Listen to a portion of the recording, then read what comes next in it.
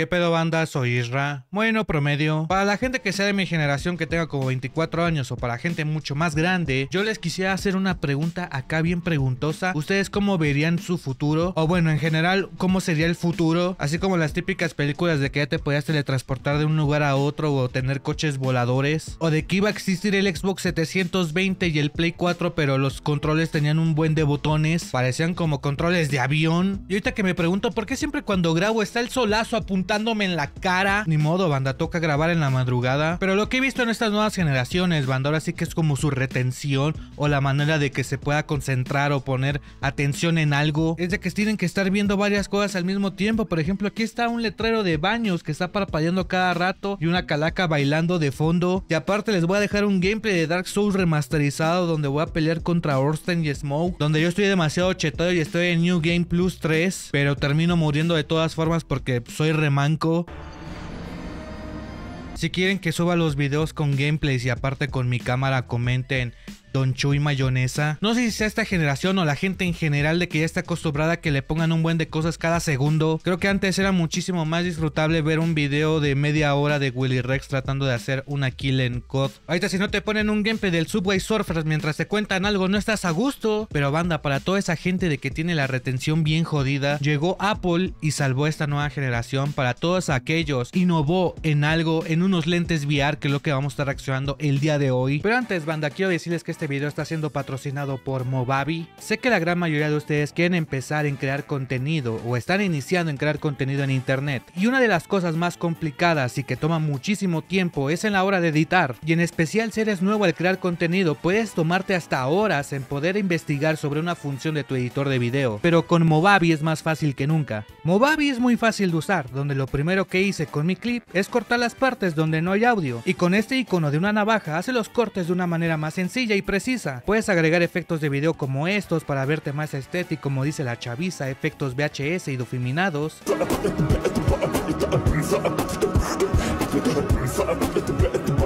agregar varios tipos de texto. Y si eres de las personas como yo de que mi PC suena como un avión y deja mucho ruido de fondo, Movavi tiene para eliminar esos ruidos molestos y dejarte tu voz de manera muy limpia. Y lo que más me gusta de Movavi es la eliminación de fondo para poner memes atrás de mí, ya sin la necesidad de tener una cortina verde atrás de ti y que pues ahí esté estorbando todo el día. Y saben que es lo mejor de eso de que solo quité el fondo con un solo clic. Así que si quieres tener tu chamba de manera sencilla creando contenido, utiliza Movavi, que aparte si lo descargas te dará 7 días de manera gratuita, pero aprovechando que las primeras 20 personas que utilicen este código y que se los voy a dejar en la descripción de este video van a tener el 20% de descuento. Muchísimas gracias Movavi por patrocinar al Don Chuy a este canal y ahora sí regresemos al video. Para la gente que no sea acá fan de Apple y no sepa nada acá como de las, estas tecnologías, pues Apple implementó un nuevo VR que pues ya lo hemos tenido antes, pero en este caso pues lo que te muestra es de que te pones tus lentes y de aquí ya tienes como simulados varios monitores o pestañas como quieran decirlos, donde simplemente al voltear tu cabeza, aquí ya estás viendo un video de YouTube, aquí ya estás viendo un gameplay del Subway Surfers y ya cuando miras para abajo estás viendo un video de la Violet Myers. Y por lo general los VR o lentes de realidad virtual se usan para los videojuegos, para estar acá viviendo experiencias con juegos de terror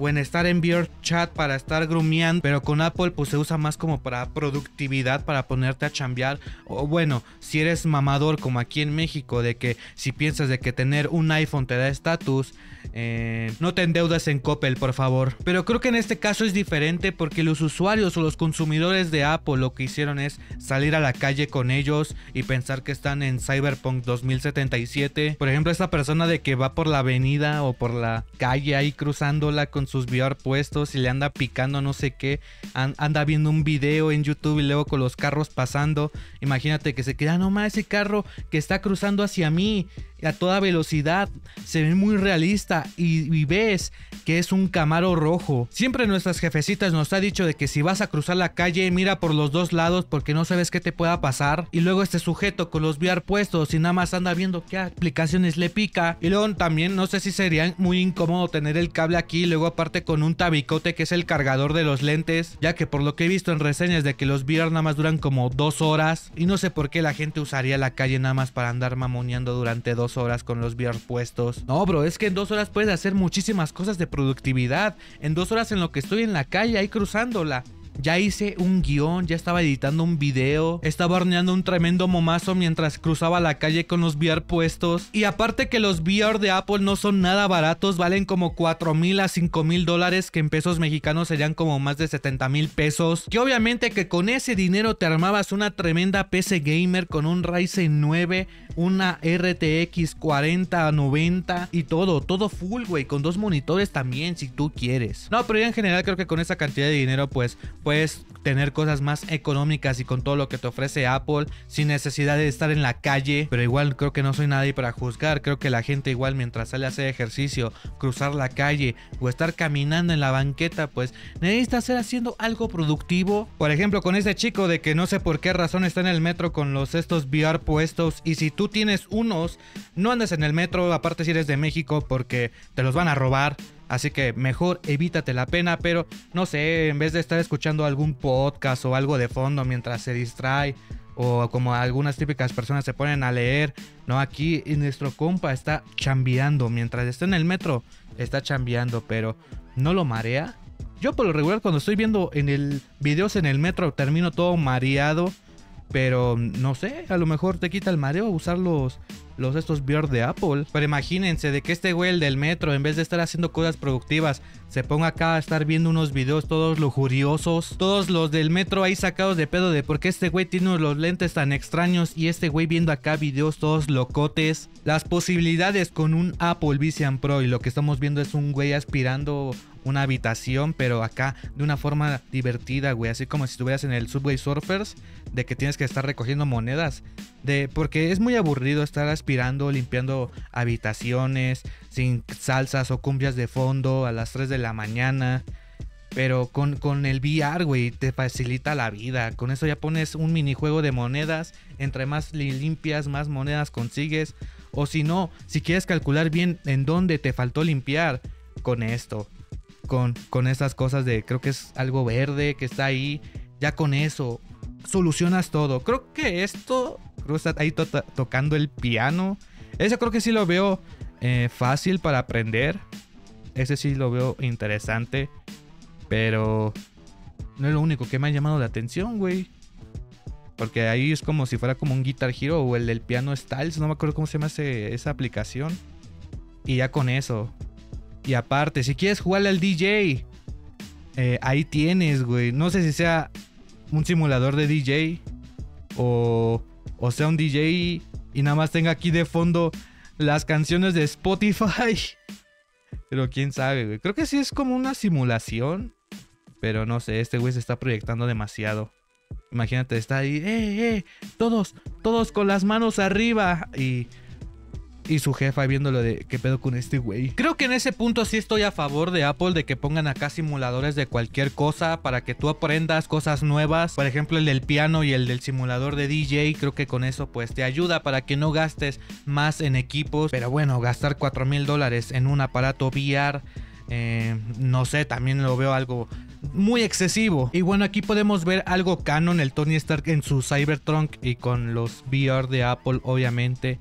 Y de ahí va a estar llamando a Jarvis para que le traiga un suero pero en fa. O en este de que si ya estás harto o harto de tu marido de que verle la cara todos los días se la puedes cambiar por el de Leonardo DiCaprio, maestro. Míralo.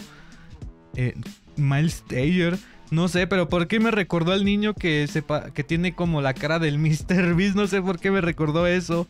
Pero aquí ya le puedes cambiar las caras, les puedes hacer deepfakes. Pero obviamente esto es un esto es fake banda, eh, no se crean porque estos no son los VR de Apple, son unos lentes de los hombres de negro, güey. Esos son otro, es una edición secreta por si ustedes no sabían. Y aquí obviamente vemos la mejor razón para usar unos VR de Apple porque puedes conducir y usar los VR al mismo tiempo, güey. Nada más que tienes que tener un Tesla, pero pues sin igual si a ti no te interesa el bienestar de la gente y no te importa provocar un accidente, úsalos, puedes usarlos, no hay ningún problema. Aunque Tesla tenga incorporado lo que es el, ahora sí que el viaje automático y que puede estar sin manos, no hay ningún problema, güey.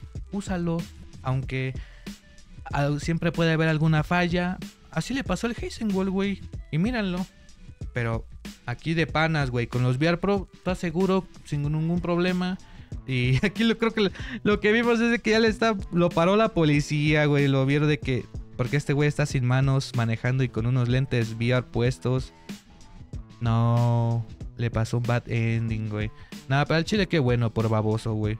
Aunque esté en un Tesla, conduzca con las dos manos, güey. No provoque accidentes. Mírenlo. Y con su cara de todo pixeleado con su cara de chal, ya me agarraron por güey. Ya que ustedes también saben, y creo que es una ley fundamental de que si estás tomando no conduzcas, pero igual aquí en unos próximos años va a producir una nueva ley de que diga si tienes unos VR puestos no conduzcas tampoco. Y menos si estás conduciendo un Suru o un Chevy, aunque estén tuneados. No lo hagas, güey. Ahora sí que por tu seguridad y por el bienestar de la gente. No conduzcas con unos VR puestos. Y menos si lo vas a subir a TikTok. Pero bueno, banda, ya saben que si se la chaquetearon con este video, pues dejen su like. Ya saben que botían bastante. Suscribíote a este canal todo pitero para que el Don Chuy en unos meses invada Guatemala. Comenten qué opinan respecto al tema. Si ven muy necesarios estos VR de Apple, donde pues te pueden aumentar la productividad. O de que solo la gente lo está usando para mamonearse en la calle y pues tener poco más de estatus. No olviden seguirme en Instagram para fotos ex de Don y recuerden, manda, si te vas a comprar unos VR de Apple, procura no vivir en Ecatepec ni sacarlos a la calle porque si no te los van a ratear. Yo soy Isra y nos vemos otro video. Cámaras.